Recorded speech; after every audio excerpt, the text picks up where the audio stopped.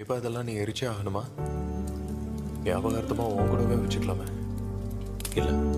நாளைக்கு அப்புறம் இதெல்லாம் நினைவுகள் இல்ல.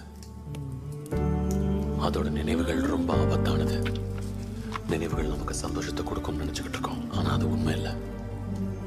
சில நினைவுகள் சோகத்தை தரும். நாம எதிர்காலத்தை நினைச்சு முன்னேறணுமே தவிர அப்பவும்